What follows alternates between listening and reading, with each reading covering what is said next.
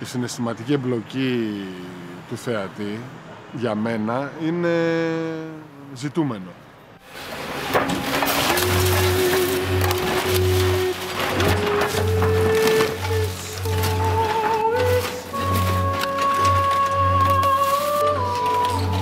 Το οριακό συνέστημα είναι, υποθέτω, το όνειρο κάθε καλλιτέχνη, έτσι.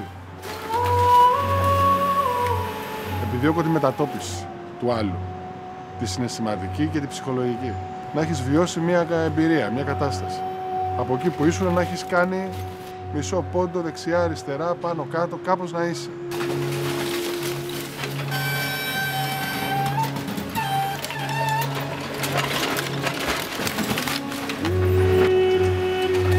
Το σημαντικό είναι η αποδοχή από το κοινό μου.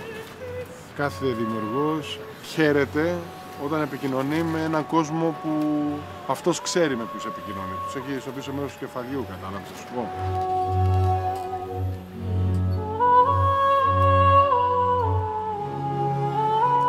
Όταν δηλαδή έχουμε να αναπαραστήσουμε οριακές καταστάσεις, μεριά και οι ηθοποιοί θα πρέπει ίσως να φτάσουν στα όρια τους κάποιες φορές.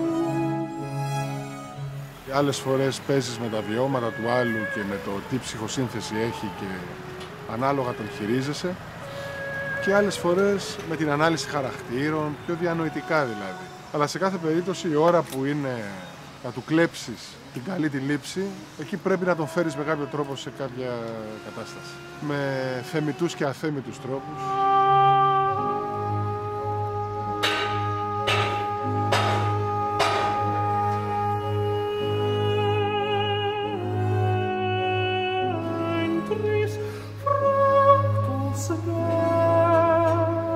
Μήπως τελικά και η καλλιτεχνική δημιουργία δεν είναι κάτι οριακό. Το να κάνεις μια ταινία σήμερα στην Ελλάδα, το να εμπλακείς σε μια περιπέτεια τέτοια.